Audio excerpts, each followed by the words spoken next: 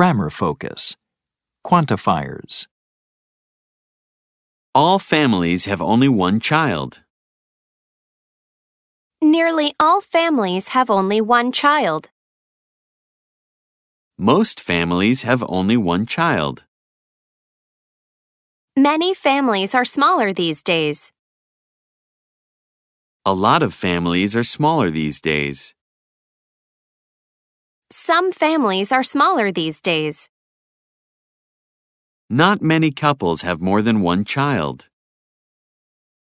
Few couples have more than one child.